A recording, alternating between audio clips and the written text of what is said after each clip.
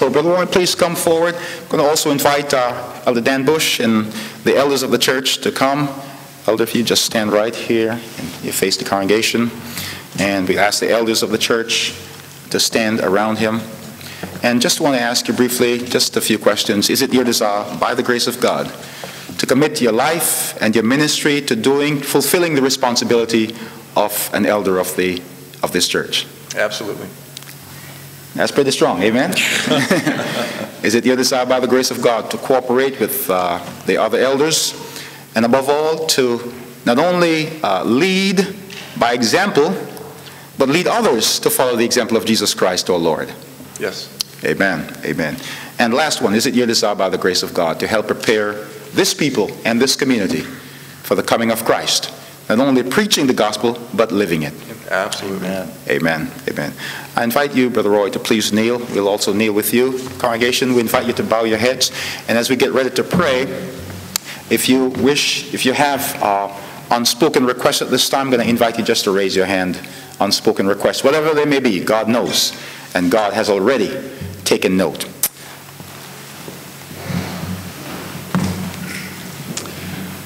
Loving Lord, you're still calling workers into your vineyard.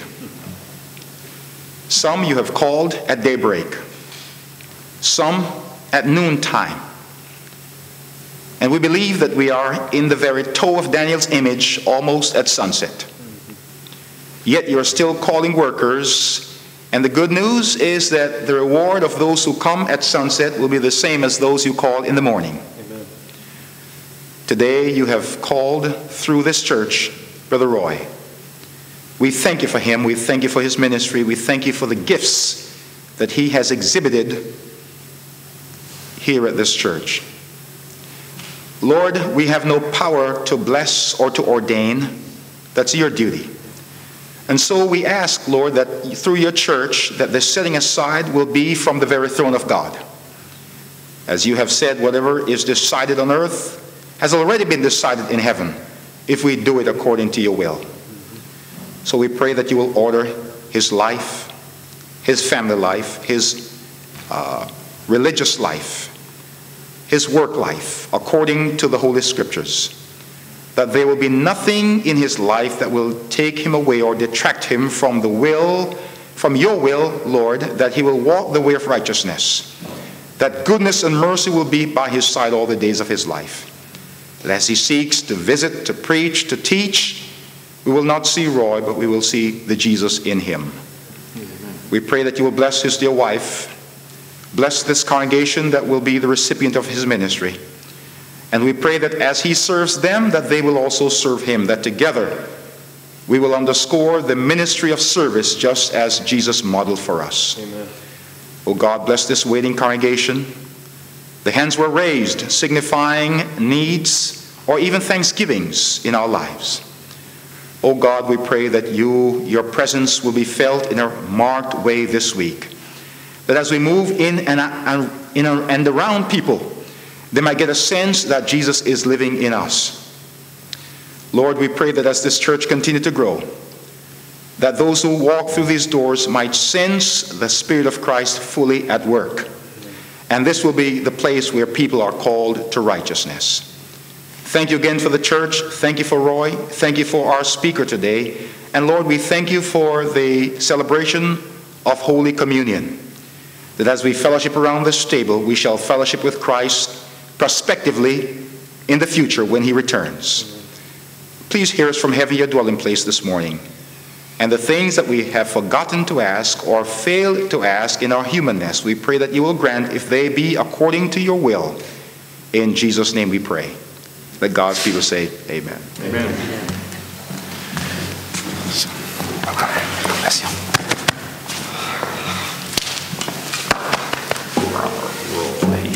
I want to welcome Roy to this ministry, and we pray that you will give him your full support. Amen?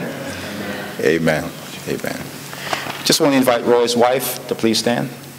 I believe she's here. She's probably downstairs. Probably. She's doing the work of an eldest wife. Amen? Amen. And just before I sit, just want to acknowledge uh, Susan. Uh, Susan, please stand. I understand this is, this is your first Sabbath back. She's been away, uh, undergoing treatment, and we're so glad that God raised you up. Amen. And you're standing here today. May God bless you and continue to bring healing to your body and to our souls. Amen? Amen. Amen. God bless you.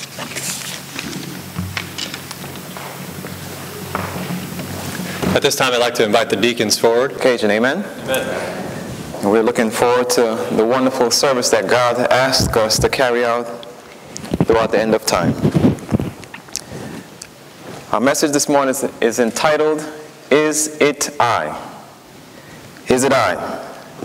Before we pray, I'm going to ask you to turn with me to the book of John, chapter 13. John, chapter 13.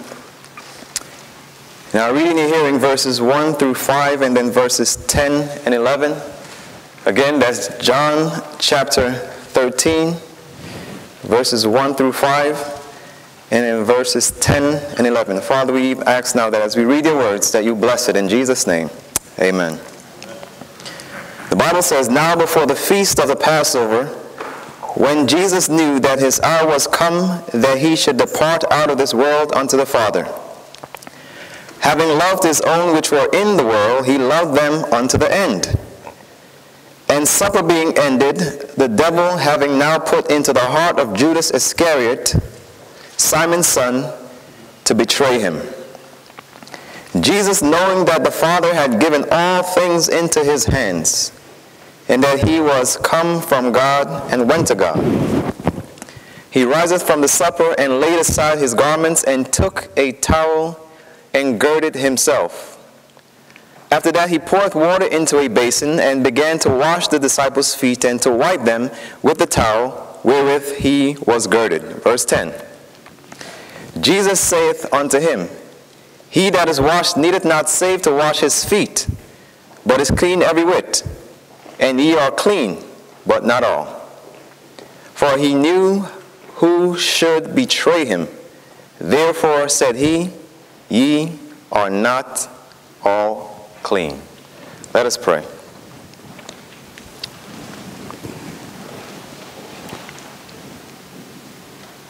Heavenly Father, we want to ensure that we leave here today clean. Amen. So, for this reason, every heart may be searching right now to ensure that whatever sins may be prominent in our lives may be left behind today and placed on Jesus. And I pray that you'll take full control of me, dear Lord. Allow your Holy Spirit to speak through me that the hearts of your people may be touched. We ask and pray in Jesus' name. Amen. Amen. The scene is now the upper room. Jesus spent most of his time ministering to the multitudes in the throng. But on this particular occasion, Jesus understood that his time is very limited. He understood that the work that he has been carrying on must be finished, and he saw that the 70 has already left him. And he also noticed that the 12 that is left behind, they also are not ready. Their hearts are filled with selfishness. So with that, Jesus understood that the work must be carried on. So he said, I must do something to try to win the hearts of these 12 so that when I leave, they will be ready to carry on the work that I began. So Jesus took them aside. And he had a special room prepared. That room was prepared. It had the, the water. It had the tables. It had the, the towels. It had the basins. Everything was ready. There was only one thing that was missing, and that was a servant. There was a servant that was missing. Now we're told that the, the, disciples, they looked each other in the eye. They, they looked around and said, who's going to be the first to begin this service of humility? Now if you remember the disciples, they often ran to find out who's going to be first in the kingdom. They often ran to see who's going to sit right beside Jesus. They argued often who shall be the greatest in the kingdom, but in this service, none of them took the first step. Their hearts were filled with selfishness. And Jesus had a plan. He intentionally had everything laid out. He intentionally did not assign anyone specific. He wanted them to see their selfishness of their hearts, and he wanted them to see that they can never carry forth the work in that condition. So Jesus allowed no one to assign no one specifically for the task. The book of Philippians, Philippians chapter 2. Let's notice what the Bible says beginning at verse 6. Philippians chapter 2. Notice what the Bible says beginning at verse 6. Philippians chapter 2, verse 6. Everything was there except a servant. The Bible says in Philippians chapter 2 and verse 6 Who being in the form of God, thought it not robbery to be equal with God, but made himself of no reputation and took upon him the form of a what? Of a what? Of a servant. Jesus understood that the purpose in which he came to this world was also to be a servant. But the disciples were not ready to serve. Go back with me to the book of John, John chapter 13. I want you to notice what the Bible says beginning at verse 4. John chapter 13. I want you to notice what the Bible says in verse 4. And this is speaking of Christ. The Bible says in verse 4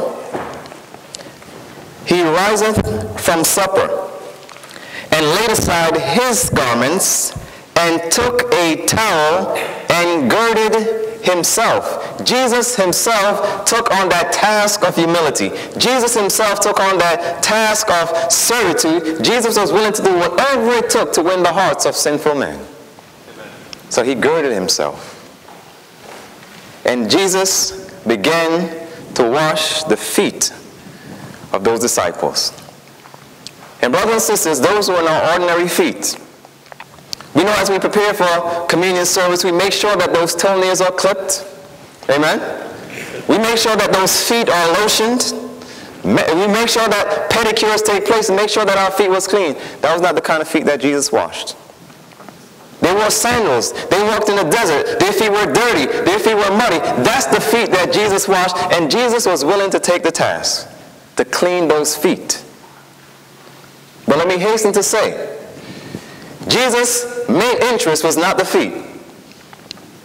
But he understood in the process of washing the feet, he could wash away the stain of selfishness that was filling their hearts. And with that towel, Jesus was able to accomplish both tasks. He washed their feet and their feet was clean, but brothers and sisters, he washed their hearts. And their hearts were clean. Jesus was going after the heart. Are you with me, saints? Amen. We have to ensure that when we leave here today, that we give that heart to Jesus so Jesus can say, You are all clean. But notice that Jesus said they were not all clean. Notice what the Bible says in verse 10.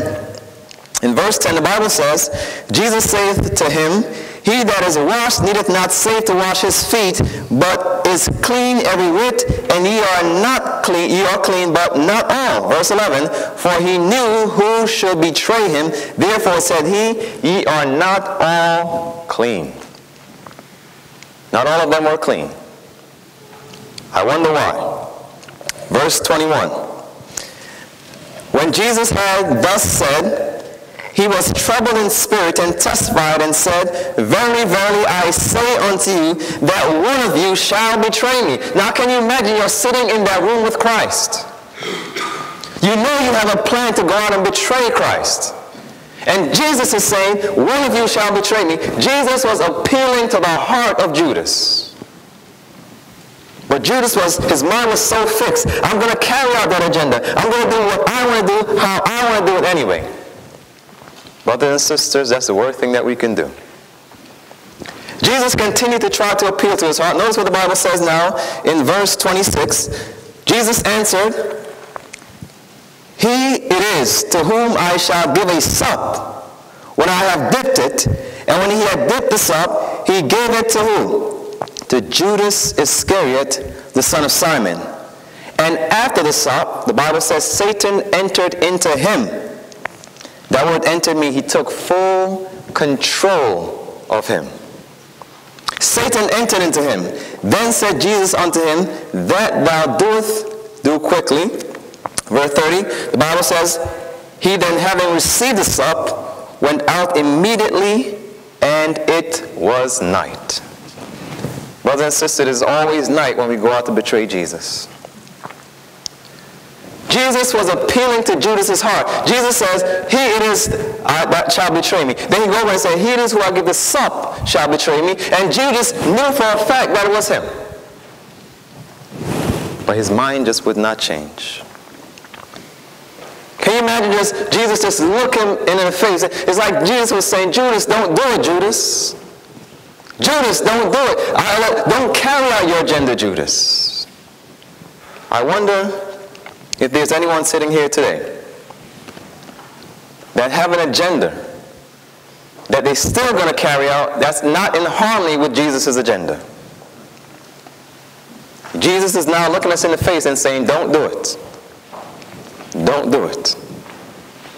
He continued to appeal to the heart of Judas strategically and systematically for the three and a half years. Jesus already called him in John chapter 6 and said, One of you are a devil. Since then, Jesus was trying to work on his heart. But Judas refused and refused. And unfortunately, Judas is a representation of many of us who are in the church today. We're told that you either enter into the experience of Jesus or you enter into the experience of Judas. There is no in between. He that is not with me is against me. At some point, there will be a partition, and one of us will be either Judas and one of us will be a Jesus. I pray that we choose to be Jesus. Jesus appealed to his heart. Judas was determined. I'm going to go to church, but that night I'm still going to go and commit fornication. He was determined. I'm going to partake of the communion service, but I'm still going to watch that pornography on the internet. Don't do it, Judas. I'm still going to wear what I want to wear. I'm still going to eat what I want to eat. I'm still going to go where I want to go. Judas was determined to carry out his own agenda, irrespective of all the appeals that Jesus did to his heart. I pray we have no Judas here today. Jesus looked him in the eye. Please, Judas. Please. I want to save you, Judas. The Lord is not slack concerning his promise, as some men count slackness, but is what? Long suffering to usward. Not willing that how many? Any should perish, but that all should come to repentance. But there's a balance. In Ecclesiastes chapter 8 and verse 11, the Bible says, Because sentence against an evil work is not executed speedily, the hearts of the sons of men are fully set to do evil. You know that we continue to carry out our own agenda. Why? Because we don't see immediate judgment. But we don't understand that our hearts are becoming more recalcitrant. Our hearts are becoming more hardened. Our hearts are becoming further and further away from God, and then eventually we take one step that was too far. And Jesus' agenda is to save. But not to save man in sin, but what? From, from sin. Judas did not know when that last step was going to be taken. And he continued taking the wrong course, irrespective of the appeal. He continued to take the wrong course. Jesus continued to appeal to his heart, but then Judas took one step too far. And even though Judas tried to repent, he could not. He had grieved the Spirit of God. And the Bible says, Grieve not the Spirit of God, whereby you are sealed. Jesus says, If you sin against the Son of Man, it will be forgiven you. But if you sin against the Holy Spirit, it shall not be forgiven. What was the difference between Judas and the rest of the disciples? I want you to think with me. Did the disciples have it together after that upper room experience? No, they did not. Did they all too forsake Jesus when the crisis came? Yes, they did. What was the difference? Let's go to our scripture reading. Matthew chapter 26.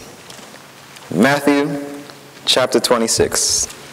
We want to find out what was the difference between Judas and the rest of the disciples. All of them forsook him at one point, even after that upper room experience. But there was a difference.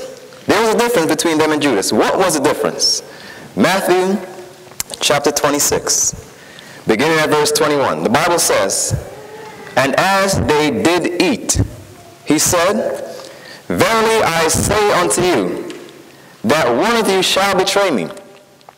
And they were exceeding sorrowful, and began every one of them to say unto him, Let's say these words together Lord, is it I? Lord, is it I? Lord, is there anything in my life that is betraying you? Is there anything that I'm doing that's betraying you? They for- forgot about everyone else that was around them. They forgot about all the apostasy that's taking place in the church. They forgot about everyone else that's partaking in sin. They forgot about mother and daughter and sister and brother. And they said, Lord, is it I? That was the difference between them and Judas. And that could make the difference for us today. We must search our own hearts and say, Lord, is there any wicked thing in me? Lord, is it I? That was the difference, brothers and sisters.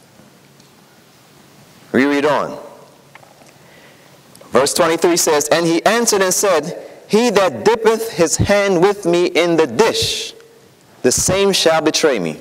Now notice these words, very serious words. Verse 24. The Son of Man goeth as it is written of him, but woe unto that man by whom the Son of Man is betrayed. It had been good for that man if he had not been born. Did you hear those words? Verse 25. Then, after Jesus said that, then, after everyone else had already searched their heart, after everyone else had already said, Is it I? Because he felt the guilt, he saw that everyone responded except him, then uh, he said, Oh, Lord, is it I? But he didn't mean it. I read to you from the book Desire of Ages. Inspiration talks about this experience. She said, As they realized the import of his words and remembered how true his saying were, fear and self distrust seized them. They began to search their own hearts to see if one thought against the master were harbored there. Just one thought. With the most painful emotion, one after another inquired, Lord, is it I?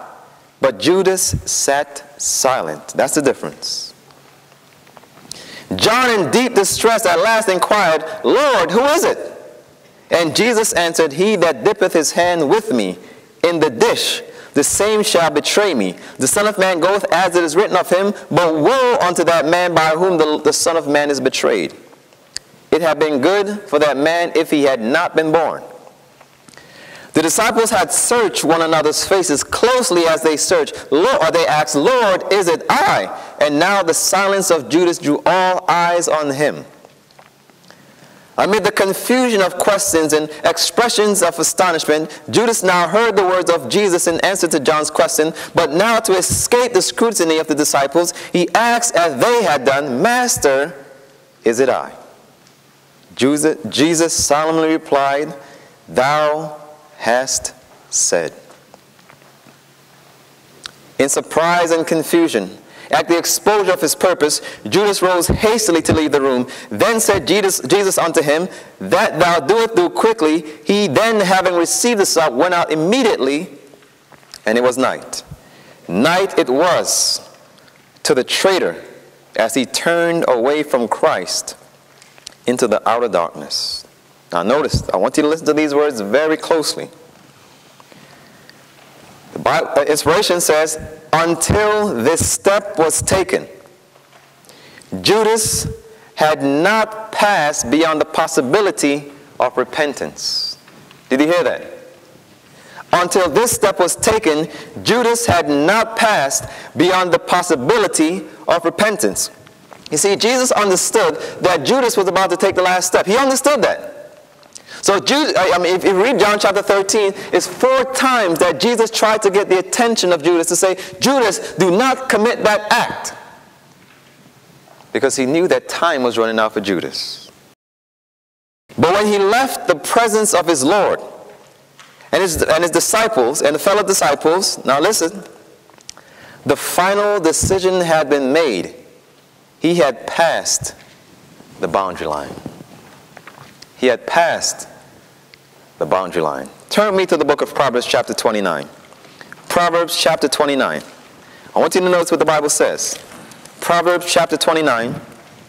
And notice what the Bible says in verse 1.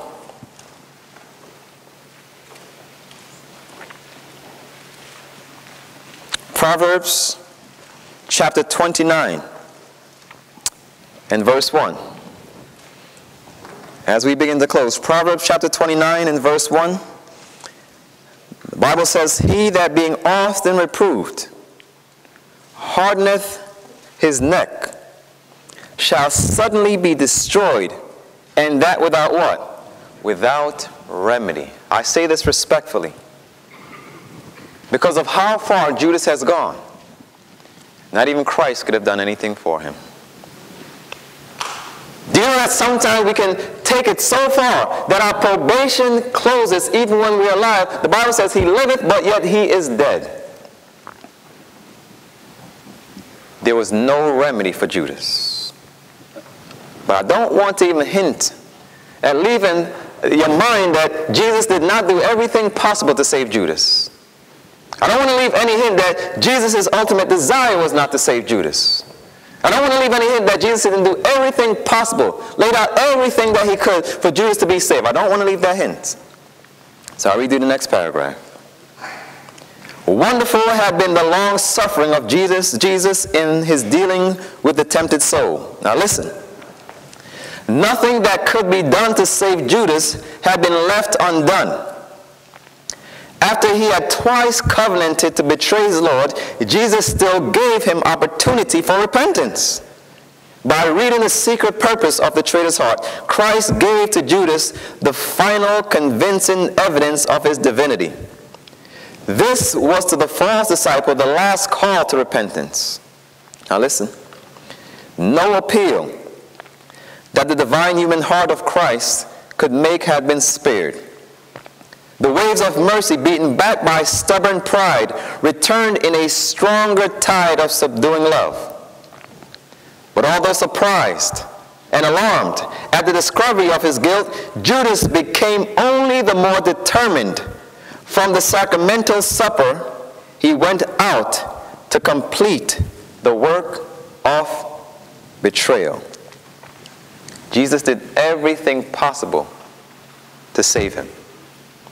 Jesus did everything possible to change his mind. Jesus did everything possible to show him what was in his heart, but Judas was determined, Lord, I'm still going to do what I want to do, how I want to do it, when I want to do it. And as a result, Judas' probation closed. Jesus is speaking to our hearts this morning, brothers and sisters, as only He can. I don't know what we are all going through, and I don't need to know. I can't help you. But there's a very pleasant help in a time of need. And that name is Jesus Christ. A story is told of an, a bald eagle in Niagara Falls. He had found a carcass and he was trying to find a resting place to partake of his catch. And as he scoped down, as everyone was watching, do you know that everyone watches us? As everyone was watching, he finally found a landing spot on a block of ice. But it was a moving piece of ice. And as he landed, he began to eat the carcass, and, the, and, and, and, and that, that piece, that block of ice is moving towards the edge to fall over the fall.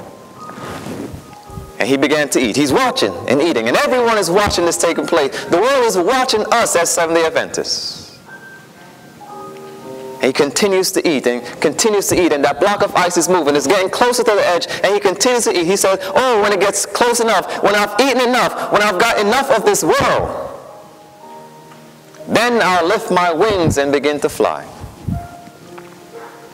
And then finally, he got right near the edge. And that eagle began to flap its wings. Those eagles have powerful wings. He began to flap his wings and flap his wings, but there was one problem there was no movement. His feet was planted in that block of ice, congealed together. Sometimes we go so far that our feet are permanently planted in this world. And we begin that we believe that at any time we can flap our wings and lift ourselves out of our disparity. The Bible says Jesus is the one that gives us the power to repent. We can't repent when we want to repent. Amen. Don't think that we can always save ourselves whenever we want and however we want. Today, when you hear his voice, harden not your hearts. As we partake of this solemn service, brothers and sisters, Jesus wants us to be clean. But I say this respectfully. Jesus cannot make us clean if we don't make a decision to be clean.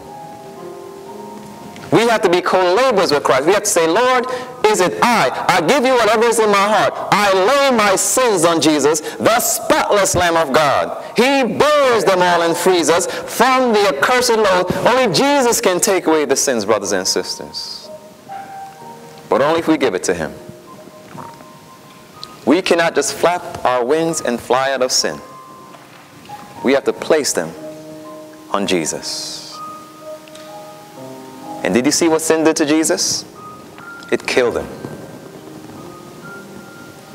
If you continue to hold on to your sin, it will kill you. But the difference with Jesus was Jesus was going to be resurrected. Jesus was going to ascend to the Father. Jesus had more a work to accomplish. If we hold on to those sins and those sin kills us, there is no hope for a resurrection second resurrection of damnation. So maybe there might be someone here that says, Lord, I want to lay my sins on you right now. And the blessing, brothers and sisters, do you know that irrespective of everything that has taken place the entire life, if you've been alive for 90 years and been a sinner for 90 years, right now, you can be clean. 50 years, you can be clean. You think about David. David committed adultery. David lied. David murdered. And Jesus looked on David and said to Jeroboam, You have not kept all my commandments like my servant David. Want to know why? Because there was a Psalm chapter 51 where David said, Create in me a clean heart and renew a right spirit within me. David said, Lord, is it I? And David is clean. David has the blessed hope of a resurrection. Perhaps that says, Lord, I want to have that same experience. I want to leave here clean this morning. I understand that I've done a lot. Oftentimes I'm, I feel so guilty, like I cannot overcome. I feel so guilty. I've hurt so much people that I just feel like I cannot be forgiven. That's the devil speaking to you, brothers and sisters. You can leave here today and be clean. Are you with me, saints? Is that your desire this morning? Praise God. Praise God. That is your desire. Let us all reverently kneel together as far as you're able. If not, just bow your heads where you are. We want to make sure that we leave here clean. Amen? The difference between Judas and the rest is that Judas did not lay his sins on Jesus. Oh, Father, we're so thankful that you've wrote, written experiences in the Bible of those that were sinners. You could have just wrote, written all the glamorous experiences of all the blessings and uh, of all the, the saints of the past and saints of old. But you have accounts that David was an adulterer and a murderer. You have account that Solomon had a thousand concubines. You have account that Abraham lost faith in you and decided to go outside of his marriage. You have accounts that Peter betrayed you. These are experiences that we can cleave from to know that you are a long-suffering God. You're a merciful God. But you also have accounts to say that there is a limit to your forbearance. And we never know when we'll take that one step that's too far. So we don't want to throttle the fence, Lord. We don't want to tiptoe along the edge of sin and righteousness. We don't want to take one foot inside of the church and one foot out. We don't want to have one step on the side of Christ and one step on the side of Satan. All the way my Savior leads me. And we pray that we'll follow Jesus all the way. And as we partake of this service, dear Father, we pray that we'll all leave here clean. And because I know how the devil works, the devil might say, well, I, somebody might be here that's saying, well, I know I'm going to commit an act of sin anyway. So I'm, I, I, I'll just not partake of the service. Jesus says, if you do not wash, you have no part with me. So it's the one choice that you've given us is to wash and be clean. May we choose to serve you today, Lord so that we can leave here clean as if we have never sinned. We ask and pray in Jesus' name. Amen.